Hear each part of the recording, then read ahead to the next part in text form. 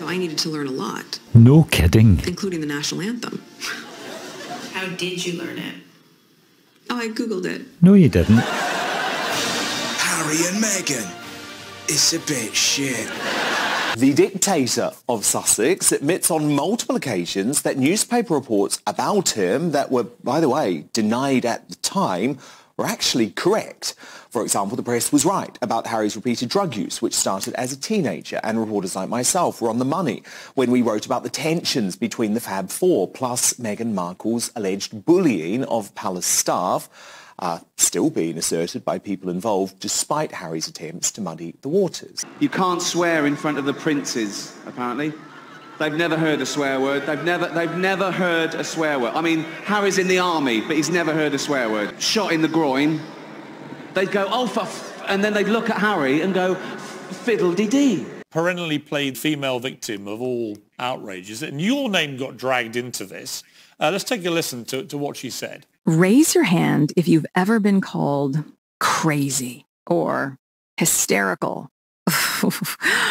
or what about nuts, insane, out of your mind, completely irrational? I don't think that men can control crazy women. What did you make of that, Jordan, to be suddenly appearing on Meghan Markle's podcast as Yeah, well, the first thing I make of it is that her voice drips with the same falsehood that the voice of Kamala Harris drips with.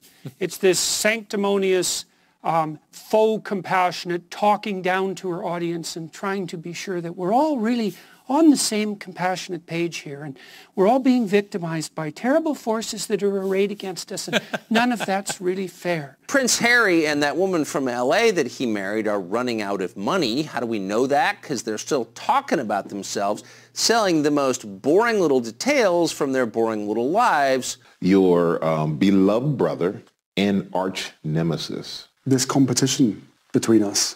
Oh, so two brothers who had tension between them. Breaking news on Good Morning America. I think we're all sick and tired of Harry and Meghan whining and moaning and going on and on. Well, most of us are anyway. I'm talking about Camilla, who he calls a dangerous villain. Why would two people who hate th- everything the royals seem to stand for, hate the monarchy, are intent on destroying it, have done nothing but trash it and diminish it in the last two years? He was like this long before he met Meghan.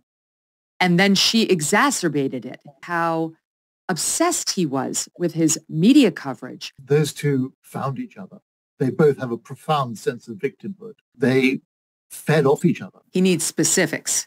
And only then will he apologize. I got you, Prince Harry. I got your back. Or here's just a couple off the top of my head, all right? Your wife's a bully.